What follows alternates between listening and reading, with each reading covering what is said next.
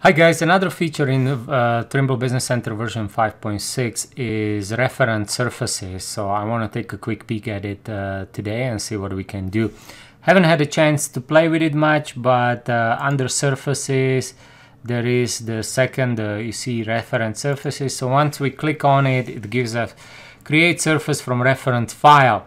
Uh, let's go give it a name, uh, test surface uh, select reference file. So let's click new. And I have one here. Let's see what it does.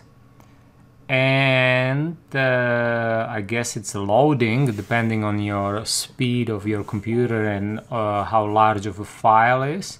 Oh there we go. There is something there Okay, so that was obviously a takeoff and it's asking me select surface from file. So I have the option to select whichever I want. So let's go select finish design and hit apply. And what this did is under surface we have a test surface and on the screen we have basically the whole reference file which is right here. Um, or toggle visibility so I can definitely turn it on and off. However let's see if, if the surface test surface is here but I do not see it. So if I toggle the visibility of uh, of the surface it's gonna of the file reference file so let's go oh maybe let's let's hit properties. Maybe I just don't have it as a finished design no? It's showing it's there. Okay so let's toggle the visibility back uh, on. So we should be able to see the file Okay, let's zoom in and let's try to see if I turn this off, what is it gonna do? Okay, so it did turn off something. So it's obviously slow because it's working with the reference stuff.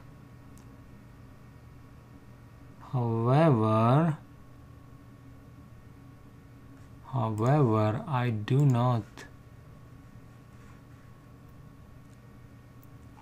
See, so let's say I would create a surface. Let's click on here. Okay, so we have some reference file properties here. Oh, view filter all. Also, if we have uh, different view filters, it would show. Ignore log file, yes. Enabled, yes. Transparency, zero. So we can even set the transparency. So let's go with 65. Okay. Override color, no if we hit yes or it's just gonna turn it into grayscale. And yeah so that's that would be how we bring in a reference surface. Now if I were to create a surface uh, let's say right here on uh, level 0 always okay this triangle here and uh, I'm gonna just quickly elevate it to what are the elevations here? 682 so let's put 500 and let's create a surface out of it. We'll call it uh, surface 500 and okay. So am I able to do an earthwork uh, surface to surface so between 500 to test surface uh, no boundary hit OK okay so on this side here let me bring it so yeah obviously because I went like 150 180 meters yeah I have a huge volume nevertheless if I were now go toggle the visibility so turn it off. The test surface is still there and do the same thing. Would it let me do that? And see if we come to the, yeah, it's calculating. So, so the only problem here I have, uh, yeah, so there it is, the, the report.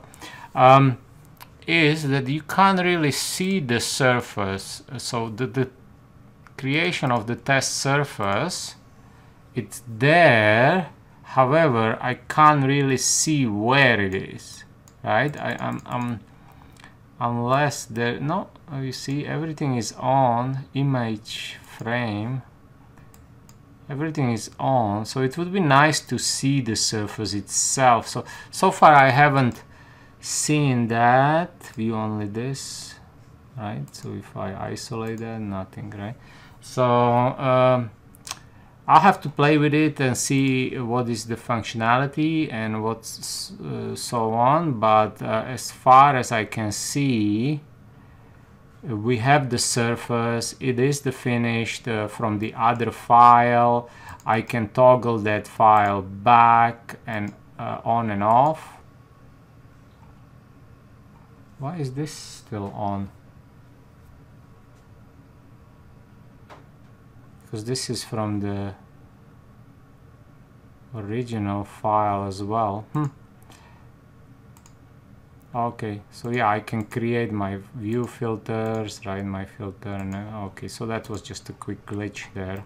It just stayed visible right when I when I toggle the visibility. The surface is there. I don't know where it is so that's one thing.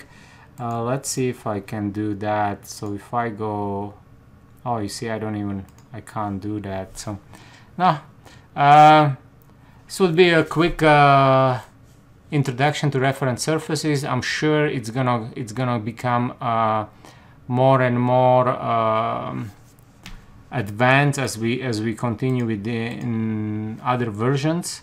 Um, another thing we haven't tried yet is just to look at the quick help. What is it gonna tell us there mm.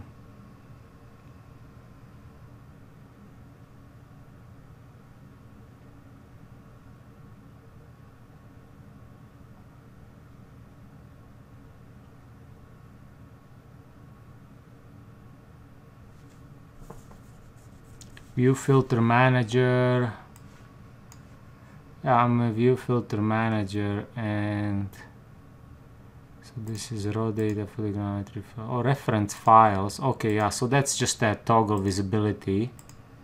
So yeah so that's the same thing. So you can either right click uh,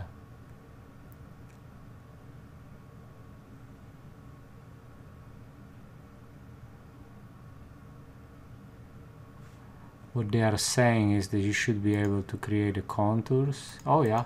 So I can create the contours uh, based on uh, distance between Legos uh, 34 uh, okay yeah so if I untoggle this one so I was able to create the contours from that surface so if I if I really want to see that surface yes perfect so I can create the contours uh, and then this would give me my uh, view of my uh, test surface. So yeah, it, there is always a way around it. Hope you found this informative. Don't forget to subscribe. Hit me up with any questions. If you need training or uh, data uh, creation, let us know. And we'll see you next video.